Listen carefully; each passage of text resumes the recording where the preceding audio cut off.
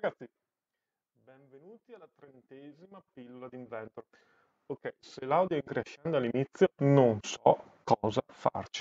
Non riesco a rifare. È la terza volta che faccio questa pillola. Una volta non si sentiva, una volta sembrava un robot, una volta avevo questo microfono. Vabbè, non andava benissimo.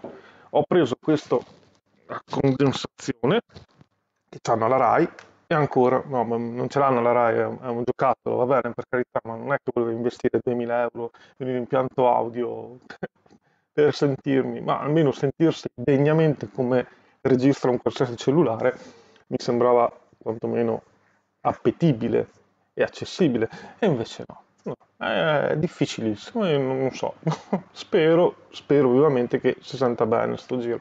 E non lo so perché all'inizio parte basso, sa perché ha condensazione, ci mette di più, è un diesel praticamente.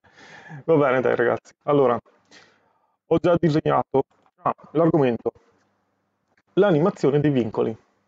L'animazione dei vincoli per fare delle brevissime presentazioni veramente fine a se stessi, non aspettatevi grandi cose, non è il rendering che potete fare e animare i vincoli con Inventor, ma è semplicemente un'animazione che potete fare qua nell'assieme per far vedere a un collega come si comporta un assemblaggio. Allora, ho già disegnato i miei due pezzi, adesso però vado a cancellare le, i vincoli che ho creato giusto per partire da zero. Allora, come vedete ho creato un banalissimo perno foro, cioè, scusate, un banalissimo anello con questo giocattolo che è il suo perno. Andiamo a creare il primo vincolo, perno, perno, ed eccolo qua.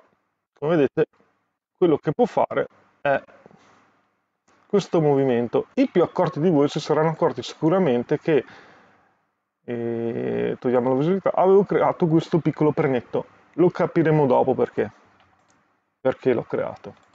Allora, come fare a simulare questo movimento se non con il mouse e una rotazione di mouse banale? Andiamo sul vincolo che abbiamo creato e No, no, non è così semplice.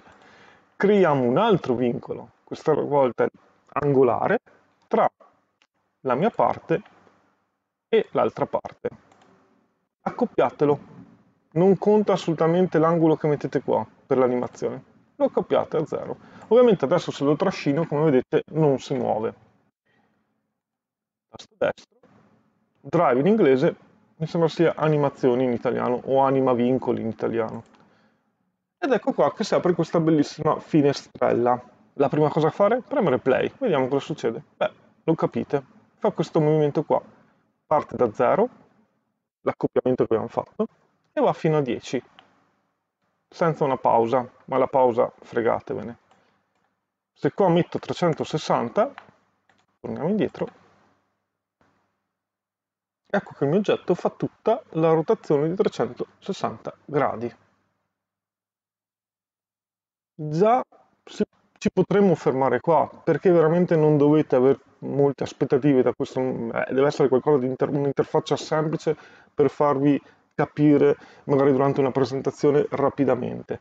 Tuttavia il buon inventor ci dà anche qualche opzione in più, tra cui il passo, cioè ogni quanto fare la variazione, quindi dico mezzo angolo, quello che vi aspettate succeda, beh sostanzialmente va più lento fa tutti i mezzi angoli, lo vedete qua da position, vedete che fa 0,5, 0,5, 0,5 e avanti così. Potete anche usare di più e potete anche mettere 0,1. Ovviamente va lentissimo. Ma altra cosa interessante, rimetto a 1 qua e dopo lo capirete perché, è il poter fare lo start and end. And start. Allora lui parte fa la sua rotazione, qua ha fatto 180, adesso fa gli altri 180, tunk, torna indietro. Lo farà per le volte che io ho scritto qua sotto, 5 volte, 5 volte lo fa.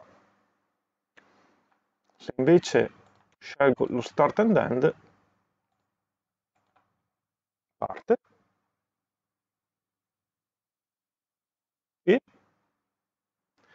voi non ve ne accorgete, ma lui va parte dall'inizio, arriva alla fine e torna all'inizio. Nella rotazione in questo tipo di vincolo ad angolare sembra che continua a ruotare.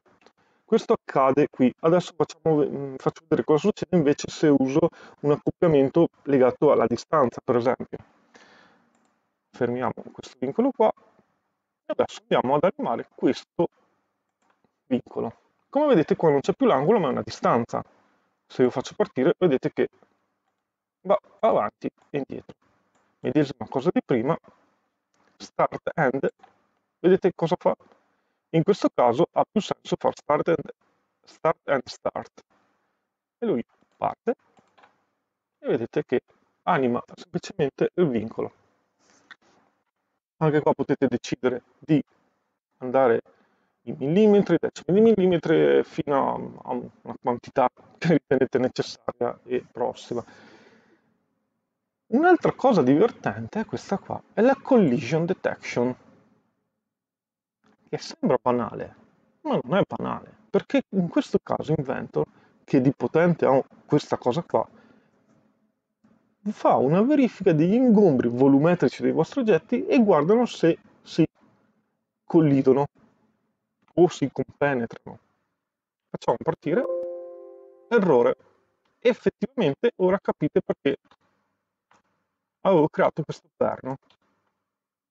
Ora però qua mi viene che ho l'impatto a un millimetro. Perché secondo voi? Beh, ovviamente, perché se vado a vedermi quant'è quant'è questa altezza, non è un millimetro, bensì è 1,58. Perché succede questo? Non è un errore, è semplicemente legato a quello che io metto qua di movimento. Allora, la abbassiamo un attimo, lo mettiamo vicino e qua mettiamo un 0,1. Scusate. Ok. Adesso parto da 2 mm. Adesso mi dà l'errore, mi dice 1,5. Ma attenzione. Lui, io forzo e lui lo rifà. Andiamo così, ok. Allora mettiamo qua 0.01. È molto lento, ma vedrete che il numero verrà prossimo all'altezza esatta del mio oggetto, 1,587, invece era 588, diciamo. Ci siamo.